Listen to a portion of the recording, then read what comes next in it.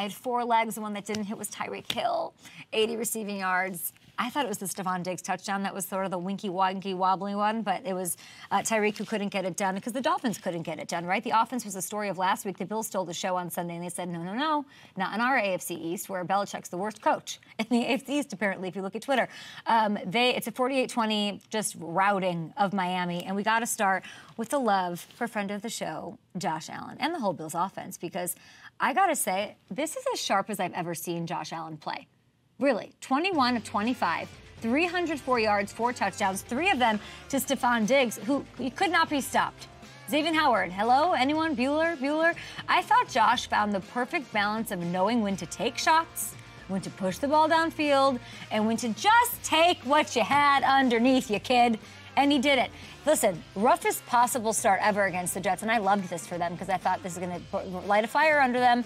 And that cover boy with with the Marvel girlfriend. Like he's going to have a bad loss here, bright light, and that's going to be the best thing for this team. Okay, there were all those turnovers last year, but now he's just gotten better and better every week. That's all I want to see. So huge credit to Ken Dorsey for a new approach. Credit to Josh for the discipline in accepting and adapting that new approach. I'm not kidding. This is the best I've ever seen him. And I forgot to mention what he'd done the ground too. This, I mean, this touchdown's stupid.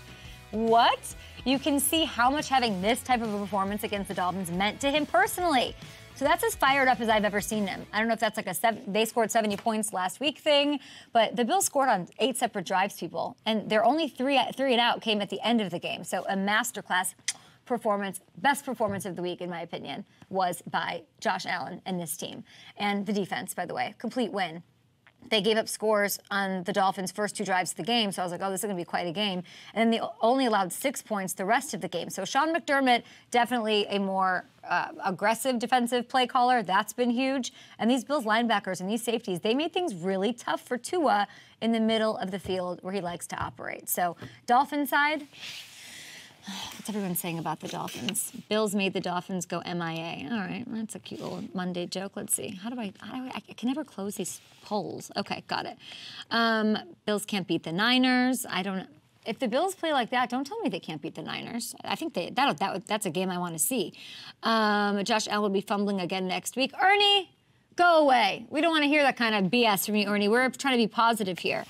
Um, Joseph, is that my suit jacket? Listen, I didn't have quite the a long time this morning to figure things out, and this is just what I'm wearing. I want to talk about the Dolphin side. Do you guys have Dolphins takes? Hit me up. We're going to have Taylor Lewan on the show. We're going to get to all of that. Um, listen, on the Dolphin side of things, I, I feel like everyone, when anything goes wrong, everyone just puts it on Tua. And I think that that's not super fair. And the offense clearly didn't play its best game, but this loss had a lot to do, and really more to do with the Dolphins' defense than anything else. And, and if you look back to last year, can't you say the same thing? Like a lot of the losses were because of the defense. Everything's got to go, especially in that division, especially in the game against the Bills, right? Uh, every time they're on the field, like you know, with the Dolphins yesterday, puts or, or I, oh, hold on, I'm lost in my notes here. You're lost in your notes. I'm lost in my notes. Let's get back on track. Okay. Um, this is the full screen. Yes, this is what we want to show you. Okay. Um, when your defense is giving up points like this, take a look at this. And maybe getting Jalen Ramsey back in December will give them a big boost for the stretch run. But all I know is right now they have to play a lot better than yesterday if they're going to make it in the AFC, okay? I still think they're capable of making it to Vegas. I want to see them in Vegas. That would be super fun. But there's a lot of work to be done. Thanks for watching. Subscribe here to get the latest Up and Adams content right on YouTube.